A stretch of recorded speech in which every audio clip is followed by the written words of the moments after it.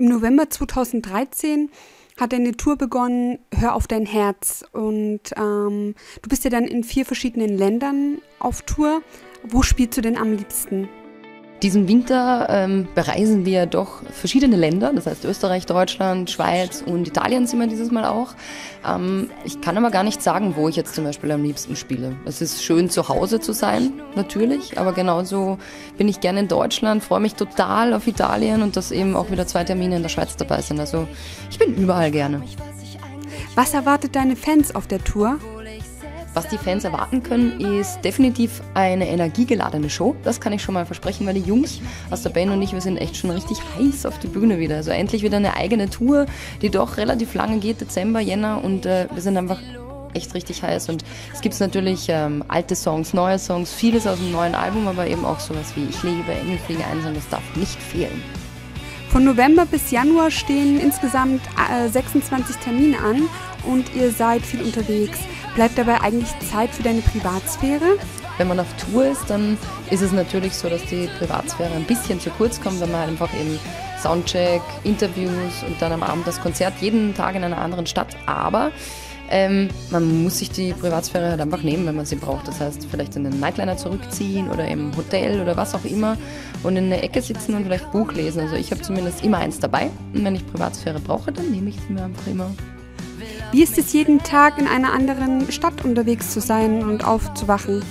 Auf Tour zu sein ist für mich ein bisschen wie, ja, hat ein bisschen auch was mit Urlaub zu tun eigentlich. Wie so eine riesen WG, die da unterwegs ist mit der Crew und ich eben. Und das bin so ein bisschen, ja, die Henne im Korb mit 13 Jungs unterwegs und ja, wie eine große Urlaubsfahrt und man sieht so viel, man reist in verschiedene Länder, in verschiedene Städte, hat am Nachmittag vielleicht noch Zeit, sich ein bisschen was von der Stadt anzusehen und hat jeden Abend andere Menschen vor sich und kann die sozusagen beglücken mit seiner eigenen Musik. Das ist ja Urlaubsfeeling. Ihr habt ja ein besonderes Fan-Ticket im Angebot. Was genau hat es damit auf sich? Wir wollten bei dieser Tour unseren Fans einfach etwas Besonderes bieten und hatten dann die Idee, dass wir ein äh, spezielles Fan-Ticket sozusagen machen. Das heißt, es gibt äh, 50 Tickets in jeder Stadt. Die sind limitiert.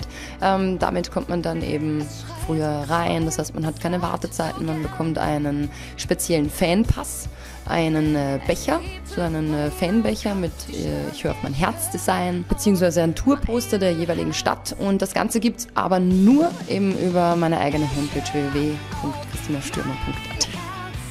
Ja, du setzt dich ja sehr für ähm, soziale Projekte ein. Und in dem Fall ist es ja auch wieder so. Und zwar ein Euro pro verkauften Ticket wird ja für die Brustkrebsprävention gespendet. Wie kam es eigentlich dazu? Das Thema Brustkrebs liegt mir einfach ja, schon seit längerem einfach am Herzen. Und deshalb haben wir beschlossen, äh, dass pro verkauften Ticket ein Euro an äh, Brustkrebs Deutschland e.V. geht, beziehungsweise an die österreichische Krebshilfe. Ja, ich danke dir recht herzlich für dieses Interview und für ähm, die Informationen für all die Hörer und deine Fans. Für dich selber noch ganz viel Erfolg und viel Glück bei der Natur und ja, lass es dir gut gehen. Ihr hörtet gerade Christina Stürmer und Shane Zui von Newcomer FM. Vielen Dank. Tschüss.